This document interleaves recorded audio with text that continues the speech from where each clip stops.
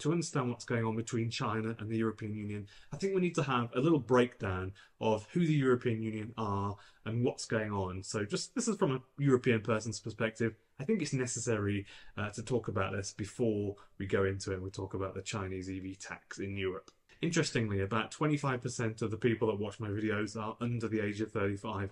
So you might not know who exactly the European Union were or are, and I suspect a lot of us don't really understand the extent or the severity of the mission creep of the European Union, and so this is a part of the uh, you know my reasoning for talking about this in this video.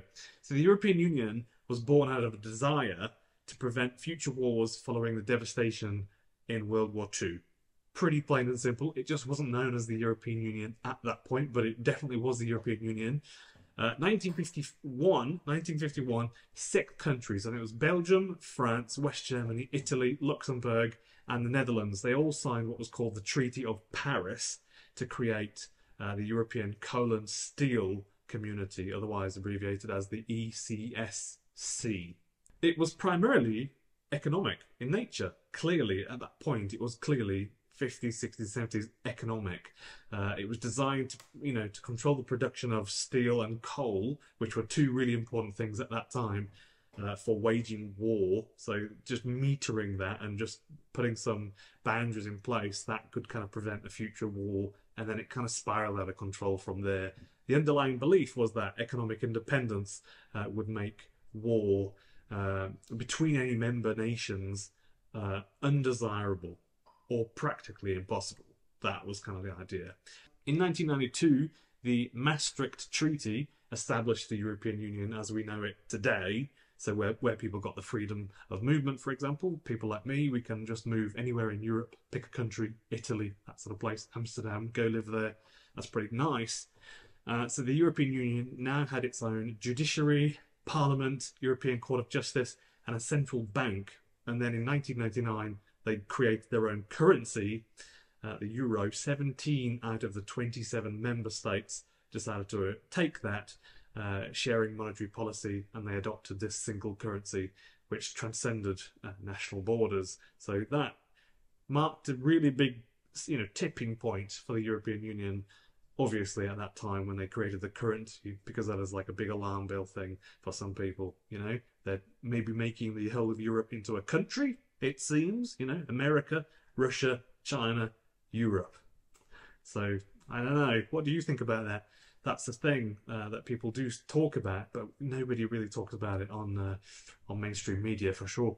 So today, the European Union is more more than a collection of countries. It functions almost like a supranational state, and I really think it does. Its its power extends into many areas previously reserved for national governments. Uh, such as trade, immigration, and even uh, defense, because the European Union obviously they wanted to create their own uh, military, basically, and they're talking about military unions, uh, union. Uh, you know, putting un- the militaries together in the European Union, having some sort of laws and rules in place to to make it so that they can kind of share stuff, that sort of thing. So recent moves toward a uh, unified military force under the Common Common Security and Defence Policy, or the CSDP, uh, signals the European uh, signal the European Union's uh, ambitions to act not just as an economic entity, uh, but as a geopolitical force. So there's mission creep clearly going on at this point, and we're only in you know year 1999. It's only been around for so many years. Over time, the European Union has grown in power and scope, becoming more like a supranational uh, entity, kind of like a super state. And at the minute, Chinese cars imported into the European Union from China just get a very standard 10% tax. That all seems pretty reasonable. I don't think people, you know, will have anything to say about that really. The Chinese government supported its businesses in China. You know, they, they obviously uh, they had plans to take market share around the world. China, I'm talking about the state of China, and uh, yeah, that is why they supported their businesses that were producing goods that could go out and go out into the world and uh, you know take some of that market share. That's what's going on. So the European Union and frankly the globe understands that there are a few things at play here. Just like four or five things. Hear me out. I know it might sound a bit unrelated to the video, but it really is related, and uh, maybe even it sounds on the surface, especially in 2024, you know, uh, conspiratorial. But it is vital, I think, that you hear these things just so that we're all on the same page. Because I think a lot of us would give each other the knowing nod and say, "Yeah, I understand completely what you're saying." Uh, but I'm not going to go into conspiracy theories here because there are some things that are all going on at the same time, which impedes our ability, I think, to talk about these things as a collective uh, cohesively. And I don't think any of these things are me being, don't think any of these things are me being anything other than on the proverbial fence. I'm just, I'm just highlighting them, you know. I think that's just a reasonable thing to do. So I'm touting the fact that these things are a part of our current landscape, uh, nothing more. That's all I'm doing. I just don't want to ignore them when it's, you know, I want my video to offer an insight into the truth, not what I as a YouTuber dare to speak of and excluding the important stuff, but actually just including all of the truth, basically. So that's why I just want to say these things in the video. Number one, the world does need to alter. We're literally burning stuff every day to fly in an aeroplane, drive our cars, that sort of stuff. We're literally altering the, the atmosphere. This is not a good thing. It's documented and true almost almost everybody agrees with that. It's ninety nine point something percent of people just agree with that. That is a thing that we just we just are aware of. That is a part of our, our modern, uh, you know, twenty twenty four reality. Uh, another thing, number two, the power that can be garnered from electrifying our society for the state is unparalleled. They will get access to so many areas of our lives uh, from electrifying our society uh, that that is something to just be aware of and just to not put in the back of our minds, but just to be aware of it. I think as we as we go through the next five years or ten years, uh, they will have access, access to what we say online, uh, where we spend our money, you know, where we travel, when we travel, what we've booked our accounts. Obviously, there are now agreements in place with WhatsApp and YouTube and Facebook to uh, give the governments quite literally an art AI uh, backdoor to just comb what we say and what we do, and then they can flag stuff up and either uh, tell YouTube, they've already approved this by the way, to uh, delete stuff at their behest. Basically, they can just say, YouTube, take that down, and it's gone. So I wouldn't be surprised if this is down for simply just verbalizing uh, modern, you know, something that's real.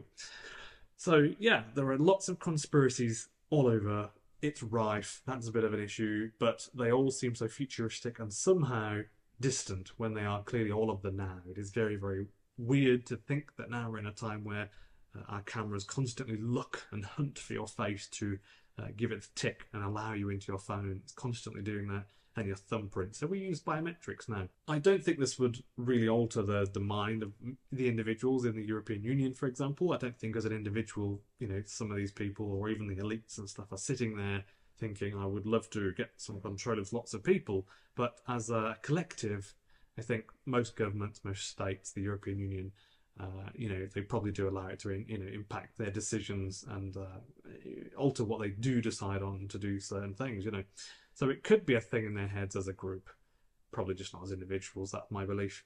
Uh, the European Union are aiming to fend off damage caused by its residents.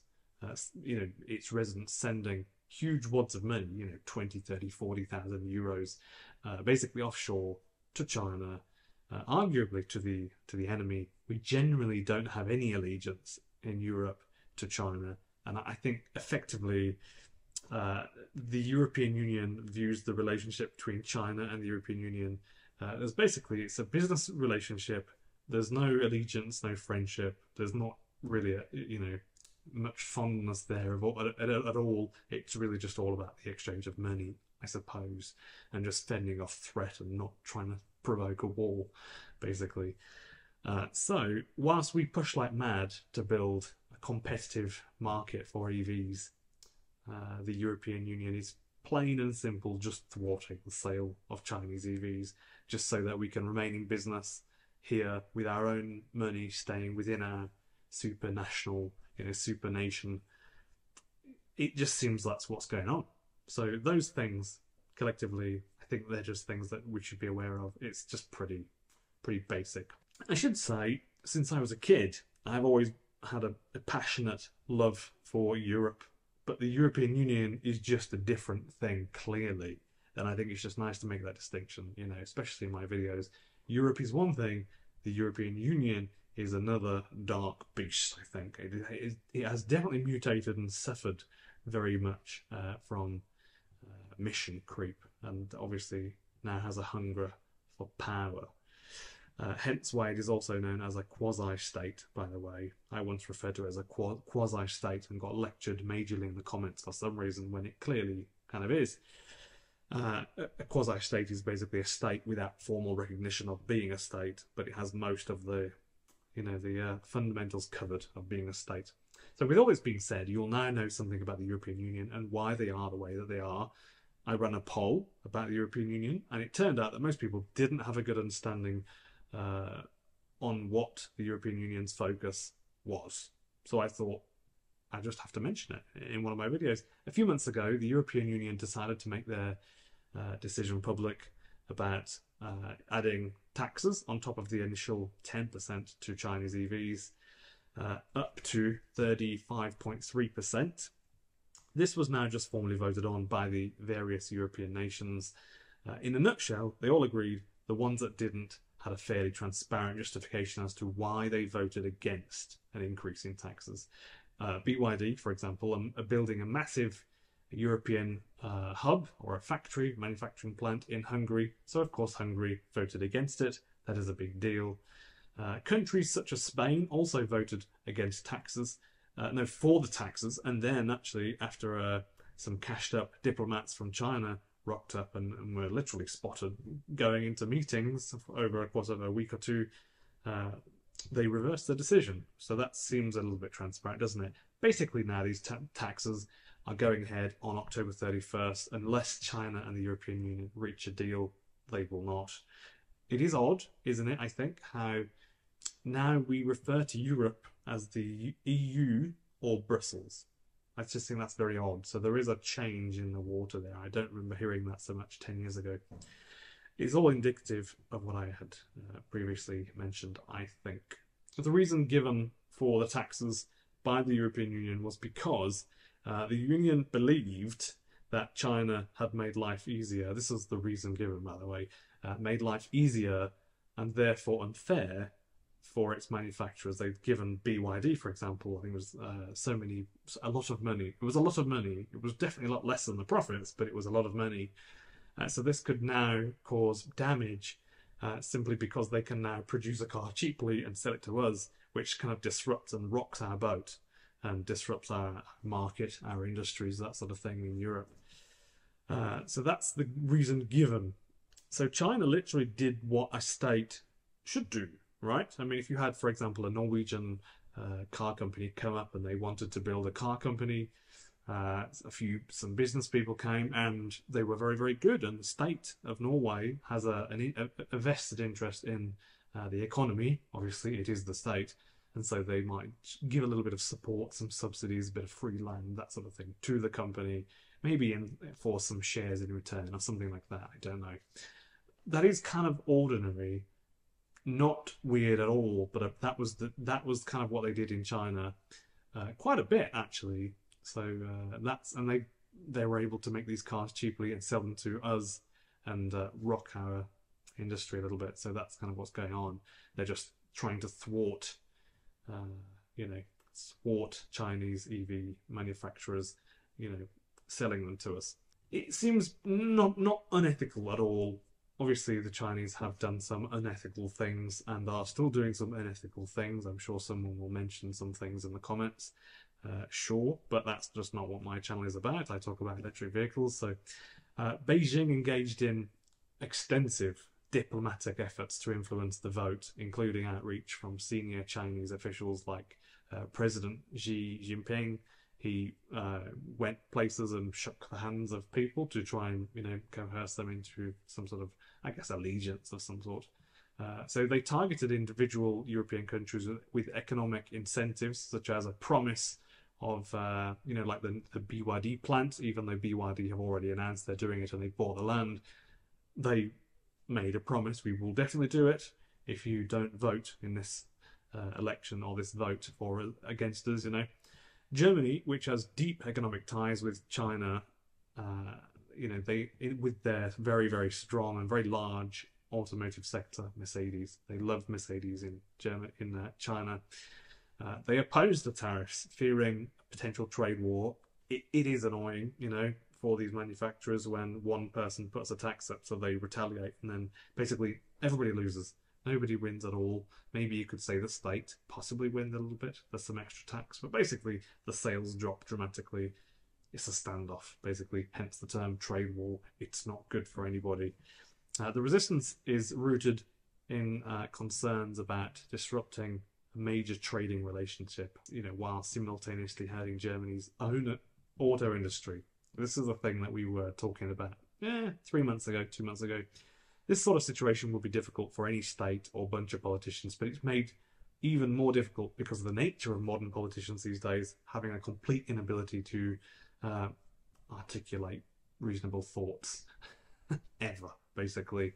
So, yes, perhaps the EU, EU can preserve industry in Germany and Italy, for example, but it doesn't necessarily mean that the quality of life goes up for the residents of these uh, people or these pe- the people in these countries or the European Union simply because a few a few extra yachts appear in a marina in Monaco literally is irrelevant. For example, the UK, the quality of life not so good for a lot of people these days. There's some really serious concerns about what's going on in the UK and how uh, things have gone in the last 30, 20, 30 years and where it's at right now. But it is a filthy rich country. You know, Norway, exactly the same. Uh, the quality of life, I'm hearing some concerns there compared to 10 years ago, even though immeasurable amounts of, amount of money in the bank account there in the sovereign wealth fund. Mental, effectively. The government have a massive bank account. They could really make life a bit easier, make food a bit cheaper, or that sort of thing. But uh, kind of not, I suppose. It's just kind of capitalism. But you know, it's uh, even though you would argue that it's communist in Norway, but still uh, it goes on, you know, selling electric via the cable to the Euro- uh, to the continent, basically. So Chinese efforts to sway the vote included a mix of uh, what you could just say is diplomatic carrots and sticks, so to speak. Nothing unusual about this approach. Just trying to form an allegiance very quickly, um, uh, doing whatever they want to do. It's just business acumen. They're they've got a state to uh, service basically. So just to give you some sort of perspective here, the tariffs are designed to counteract the substantial growth in the market share of Chinese EVs in the European Union, which jumped from two percent in 2020 to 14 percent uh, four years later in 2024 basically. So it's uh, a big market share, you know, compared to what it was just four years ago. So it's just a thought that, I suppose. A couple of things to remember. New laws can be created, and they are created, and existing laws can and will be bent. This is actually something Julian Assange said in front of a panel of uh, European, I don't know, very important people in Europe. I can't remember who it was who, who he was talking to. And uh, yeah, this new these new taxes for the Euro- from the European Union are only supposed to be in place for five years. So we will see what they do. But thank you for watching, everyone. I'm Ben Alexander, and I make EV news videos. I really pre- appreciate your time watching my videos, and uh, you've made it this far. So this was a long one. So thank you. Uh, please put any thoughts in the comments for everyone to see, because I'm pretty sure when I talk about some of these things, people will be just going straight to the comments, which is interesting. I know this video is somewhat loaded. I know that as a society, generally, we're unable to talk about these sorts of issues without conflict. So I'm expecting some conflict in the comments. But whatever you put in the comments can just go. If we could at least try to keep things reasonable and uh, a bit civil in the chat, that'd be really nice. So thank you for watching. Really appreciate it.